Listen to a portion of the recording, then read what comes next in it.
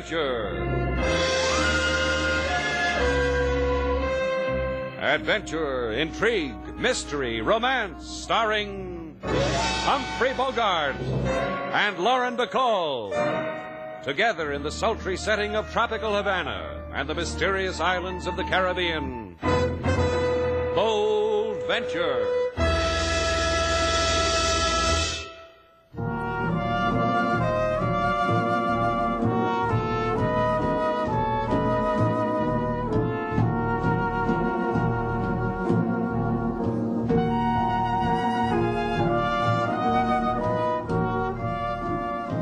Once again, the magic names of Humphrey Bogart and Lauren Bacall bring you Bold Venture and a tale of mystery and intrigue.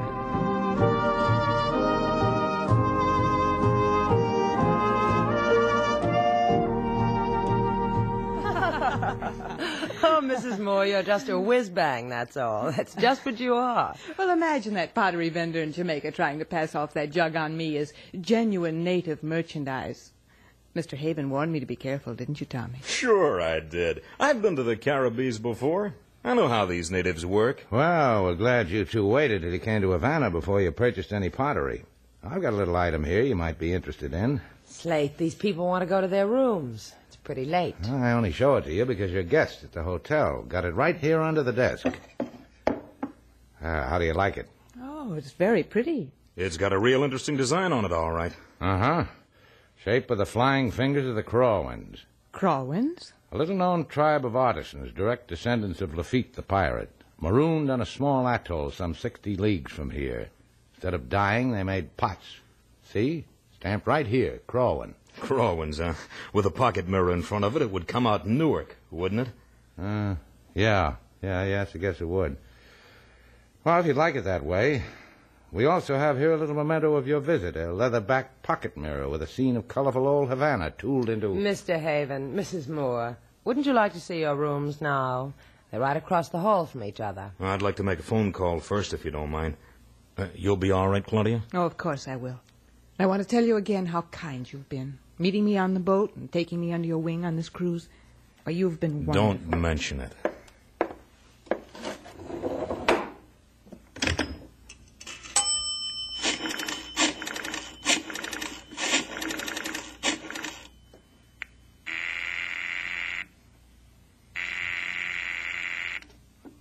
Milo. Hiya, Milo. Yeah, we're here. Mm-hmm. Both of us. No, not as far as I know. I think we lost him in Jamaica. Sure, I know you'll find us. So I thought of something. Why run anymore? What? That's going to be up to you, Milo. Kill him? Didn't you hear what I said? That's up to you.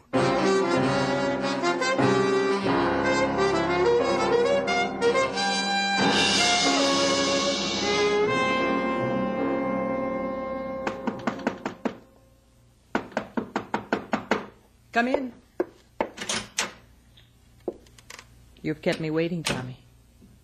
More and more you keep me waiting. You getting that tired feeling, Tommy? Because of me. How does a man get tired of a girl like you, Claudia? The things you do for a man. Steal your husband blind, run barefoot across sunny shores with your true love, just so you can settle down on a vine-covered island off the coast of Venezuela. You and your true love. Me. It's all you want, isn't it? That island. A clod of coral in the Caribbean so you can wear a sarong and a tin crown that says king. A tin can crown. That's it, Angel. That's just it. The island, the crown, and you for a princess. Well, suppose Jean finds us, Tommy. Suppose before we make paradise, he finds us. Jean, the husband fella, the boys chased us a long way to find his grave. I'll tell you what. We'll give him one.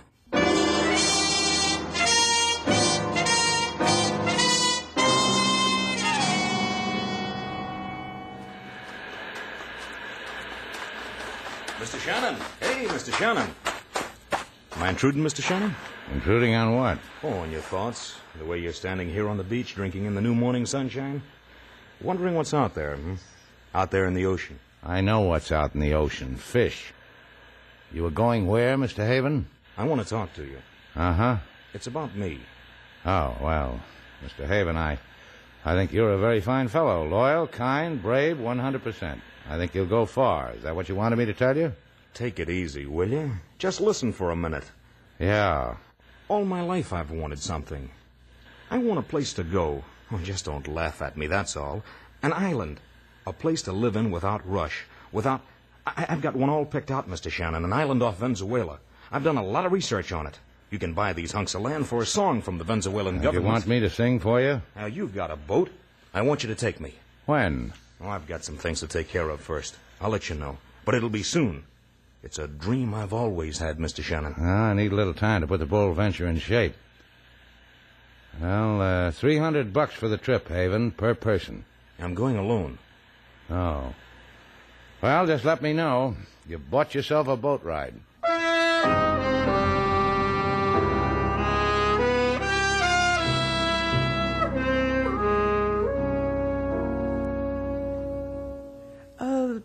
Me, Miss Duval, what does a bachelor girl do for thrills in Havana?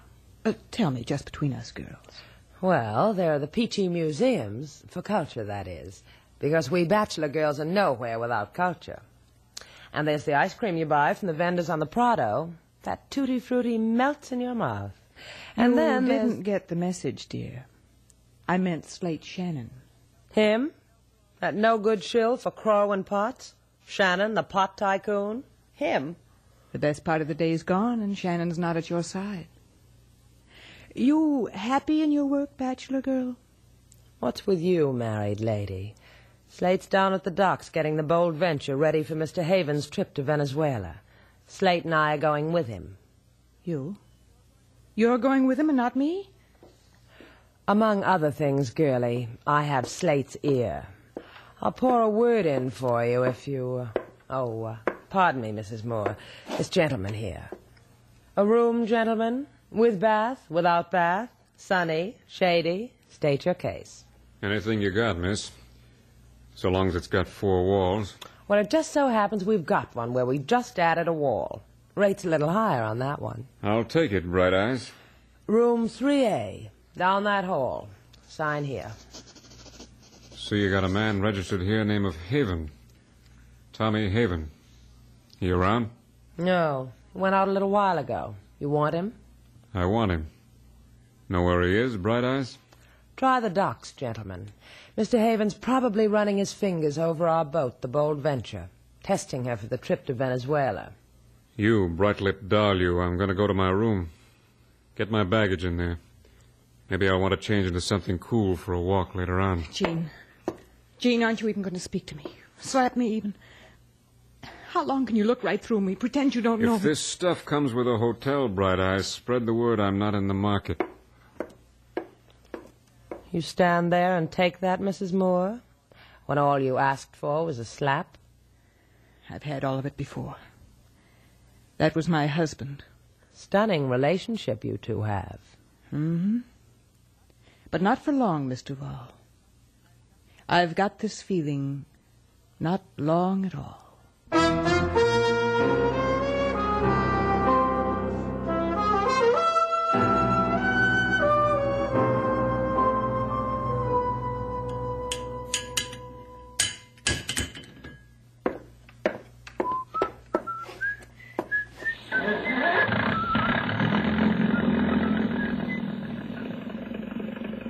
Ah, purr, kitten. Yeah. Hey there. Hey, you on the boat? Are you talking to me? That's right. You mind if I come aboard? Not at all. You know a man named Haven? Who are you? Haven's not around, is he? Maybe I'll just look around. Out of that cabin, Buster. In fact, off the boat. Where is he? Where's Haven? Just because it's a fine sunny afternoon and I don't want to louse it up, I'm going to tell you a thing. I saw Haven about six hours ago up the beach. That way, up the beach. I saw him there, I talked to him for a little while, and I left him. Now you can take off. Your name's Shannon? So? Yeah. So. Seeing you on your back, I suddenly feel real good. Bye, Shannon. Hey, hey, you. Yeah? Wait. Ah, I'm sorry I didn't give you the information you asked me for as soon as you asked me. And what? Well, I, I hope you don't mind my asking you, sir, but who are you? Yeah, you ought to know. My name's Moore. Jean Moore. I've got a wife staying at your hotel. Her name's Claudia Moore. Yes, sir. My wife, whose name is Claudia Moore, cashed in everything I owned and ran away with a man named Haven. They were going looking for an island with my dough, and you were helping them. So you slugged me, isn't that right, sir? That's right, Shannon. I see. Now, now we can be friends, Moore. I'll wait till you wake up, then we can be happy about it.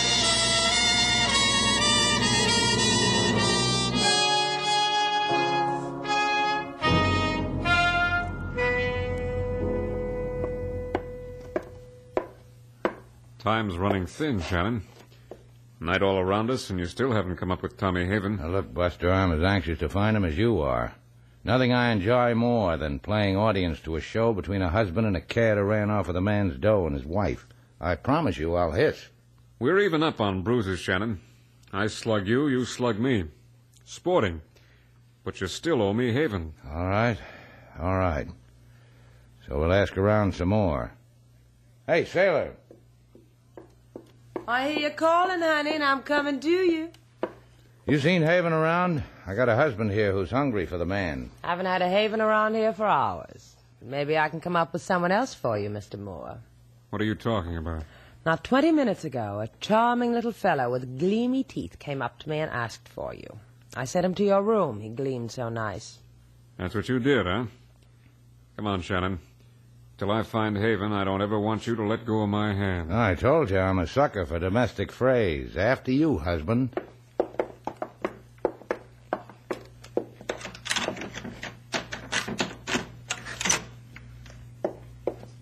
You know where the light switches are, Shannon.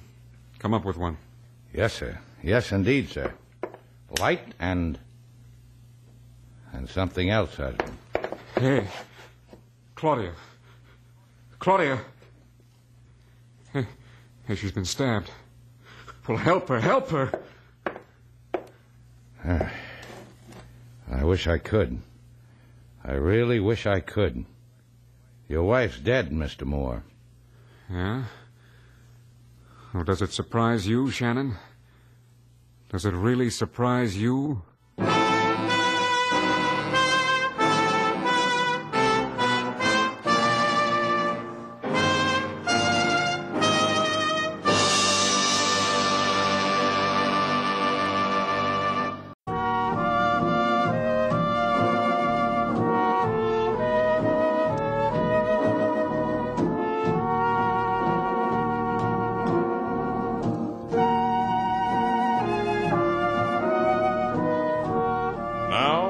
To Bold Venture. Our stars Humphrey Bogart and Lauren Bacall, and the second act of our story.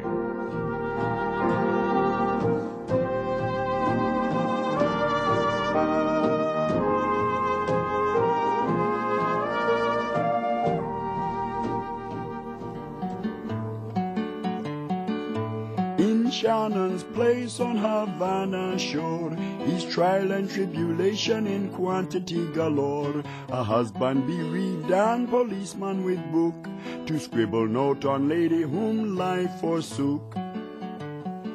The lady was a traveler, the lady was a wife who roamed the Caribbean in search of new life. With a man not hers, with a man not here. To die by a knife is the price so dear. You're a fortunate man, Inspector LaSalle. You get background music with your murders. For this, my gratitude, senorita. And you, Shannon. It's the talk of Havana. What makes your hotel so attractive to murderers? I just put up a new neon sign. Why point a finger at me, LaSalle, when you've got the lady's husband right here with things to reveal about his wife? That right, Mr. Moore? Claudia's dead. That's all the revelation that'll ever come to you, Shannon. You heard the song the boy sang. Claudia wanted a new life. She didn't make it. If I could, I'd weep. I want only Mrs. Moore's murderer. I give him to you. A little man with more than his quota of teeth. Black hair, brown eyes. He came here and asked for Mr. Moore. I sent him to Mr. Moore's room. What Sailor's trying to tell you, LaSalle, is the little man with the knife and the teeth wanted Mr. Moore here dead. In the dark, he got mixed up. Hmm. Gracias for doing my shovel work. Perhaps now you will honor me with the murderer's name? Oh, we ain't greedy, LaSalle. You can have that part because we don't know. Then I am no longer wanted here, and I am sensitive to such things. Adios, non-cooperatives. Why didn't you tell him, Slate? Why didn't you tell him about Mrs. Moore and Tommy Haven and the island? Because that belongs to Mr. Moore. Right, Mr. Moore? Yeah. And thanks for letting me keep it. The no dough, the no wife. Courtesy of you, Shannon?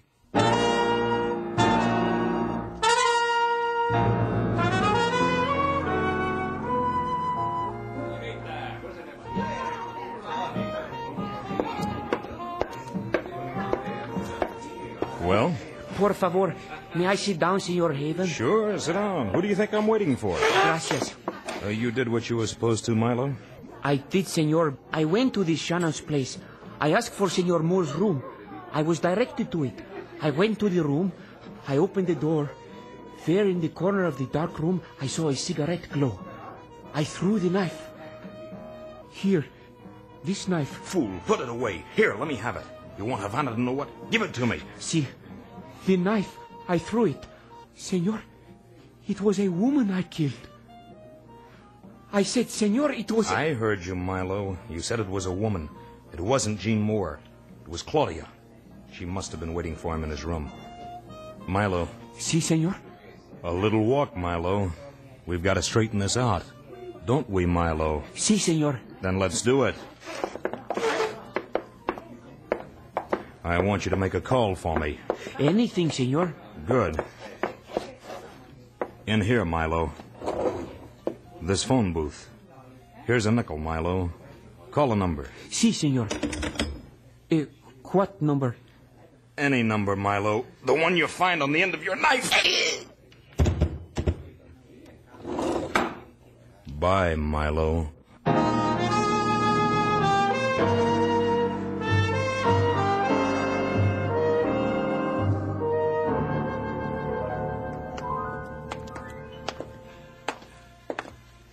What's with LaSalle, Slate? The boy's got a murder on his hands. So he calls us up and invites us to a joint in the barrio.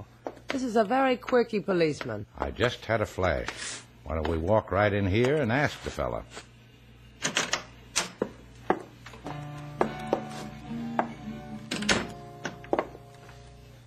Shrimp boats must be out again, Daddy, because there's no dancers here. Just that leftover guitar player on the bandstand. Otherwise, empty. Empty except for him, the guitarist.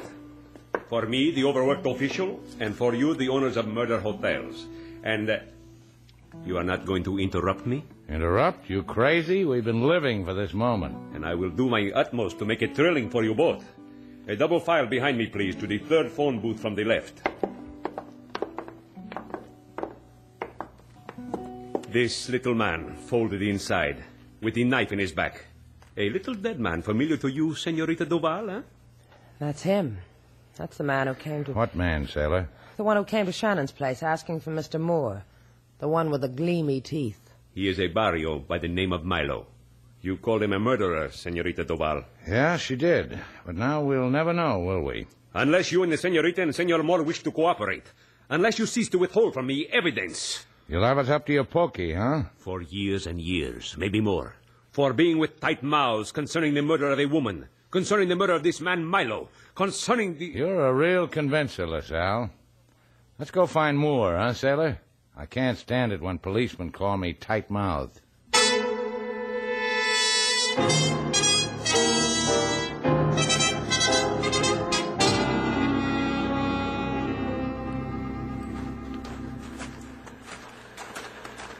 And that's the way it is, Moore.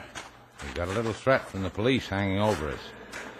I thought I'd tell you because maybe you ought to give this up. Let LaSalle take care of it. A good suggestion is worth a good answer, Mr. Moore. What about it? You want a comment? Make it up for me. Start with this. I had a wife once named Claudia. I had a lot of dough once, too. And now there's not much of anything at all. I wish there was something we could say, something we. Okay, Shannon. Okay, what? We've been playing long enough. What's your part in it? You kidding? You think so? I asked a question. Your part in it, kid. What's Haven paying you? How much of my money did he brush against you for these tears you're shedding for me? For the lies? You really aren't kidding, are you? We had each other off balance once, Shannon. And now here, you and me, even up. You want it that way, huh? Just like that. Take a walk, sailor. Both of you lost your mibs. What kind of a way is this? I said take a walk, sailor. Talk to me, Shannon! This way, Buster. Kill each other, fellas. There. There's your boy, Moore. There's Haven. Wait your turn, Tommy. Wait till. This is what I've been trying to get done all day, people. Now it's done. Wish me well because Gene Moore is dead. Grab this, Haven. Yeah. Try that again, Shannon. You'll lie down gently beside Gene. Let's get moving, folks. We've got sailing to do.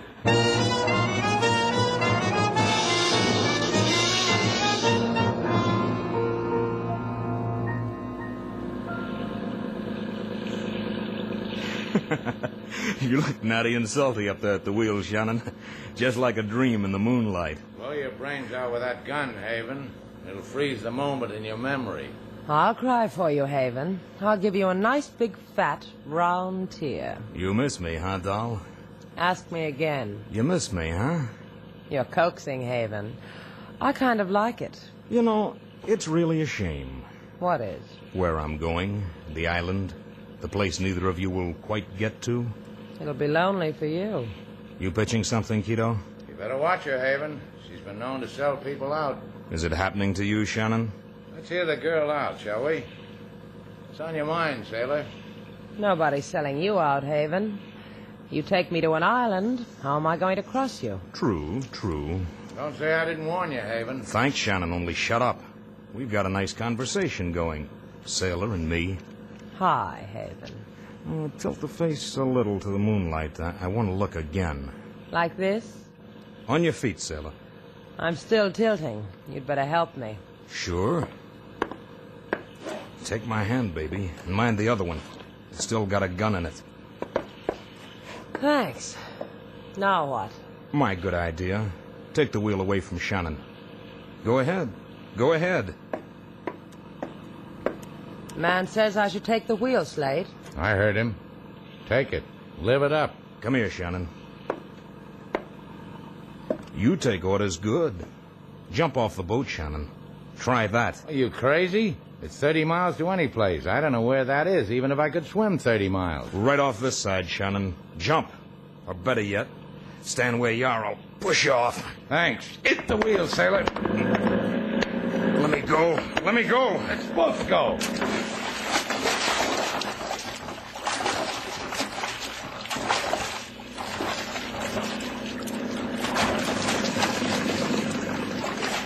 Is that you, Slate? Yeah, ah, nice going, sailor. You all right? I'll get better. Now give me a hand. Haven? I've got a handful of hair. I think he's attached to it. Yeah. Yeah, he is. Well, let's go back to Havana, sailor.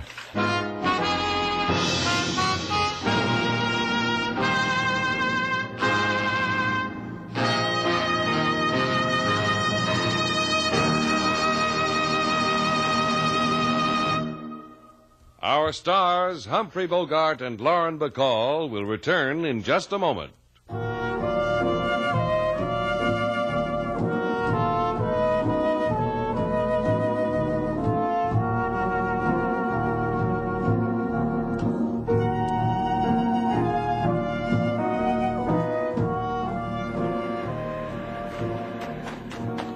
Is that you, Slate? Sharp, huh? Spiffy. That's a beach outfit? Bathing trunks, a straw hat, and a blazer. Uh, yeah, well, I, I bought a ukulele, sailor. The instruction sheet said best results are obtained while wearing a collegiate outfit. A ukulele? Since when do you play a ukulele? I was taught, I was taught. By whom? By Myrtle W. she who walked by Waikiki shores, now you know. So play something already. Why, what do you know?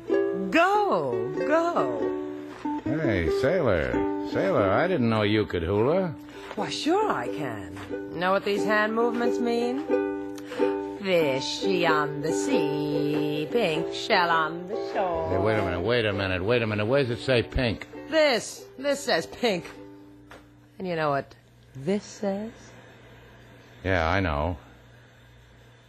Ah, is that what it said? Did it, Sailor? You read me like a book. Likey Island girl.